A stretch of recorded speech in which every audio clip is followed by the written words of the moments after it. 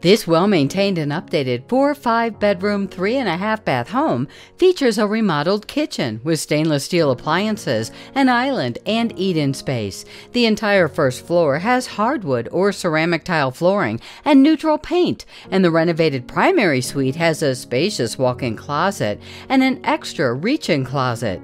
The deck overlooks the landscape tranquil, fully fenced backyard with evergreen screening for privacy. Check it all out today with Jeffrey Bowers.